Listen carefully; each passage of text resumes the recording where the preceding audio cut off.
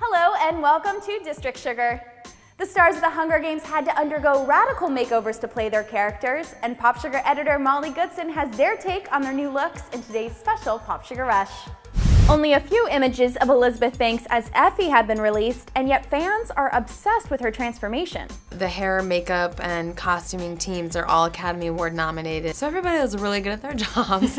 I just love that. One of those collaborators was Linda Flowers, who was the hair designer on set. Elizabeth was my favorite, first of all, to transform because it was a real character. How often you get to put pink hair on somebody? hair and makeup in particular for you were pretty intense. Were you involved in the creative process for that? Yeah, you know, we had a lot of conversations. It was a great collaboration. One of my favorite times uh, during the filmmaking process was those couple of days before I started when we just sat in the hair and makeup trailer and just sort of played, you know. Yeah. What about this color? What about this color? What about this hair? What if it's bigger? What if we tuck this? What if you have bangs? Primrose Everdeen. I have like a Marie Antoinette uh, mole, but it's a made out of, it's a rhinestone or something, you know? It's like really cool. So just those little touches of um, like futuristic wonder and awe. Did you have a favorite part of her look? The thing that really helped me create the character were the costumes. We spent a lot of time looking at haute couture and, and Christian Dior and sort of French haute couture. Beautiful shape on a woman's body, uh, but then had crazy embellishments. Fashion and beauty play a big role in the film for Jennifer Lawrence's Katniss too. Her Girl on Fire dress is a favorite among Hunger Games readers. What was it like first seeing the, the, the red dress?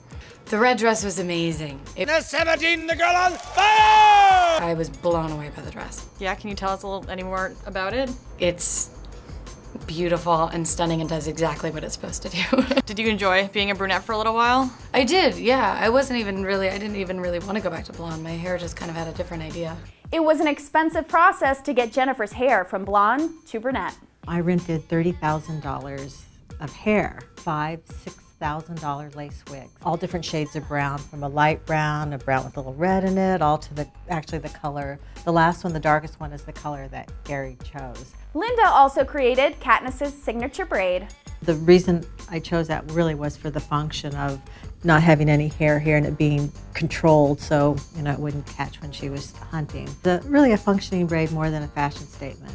And while Jennifer went from blonde to brunette, Josh Hutcherson did the opposite to get Peeta's blonde hair. He was a little nervous. Lionsgate and Gary came to me and they said, you know, how far can we go with this before it looks like he has colored hair?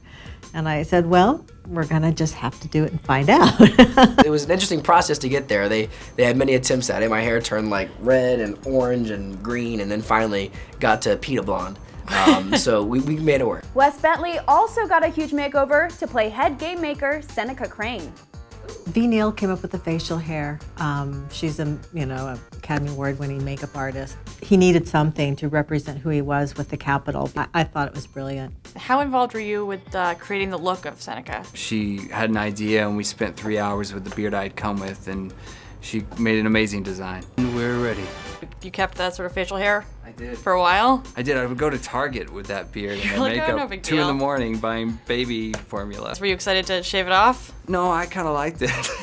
it was, I mean, it took two hours to groom every day, but it was fun to have that beard. I don't know about you, but I can't wait to see these looks in the film. Thanks for watching District Sugar.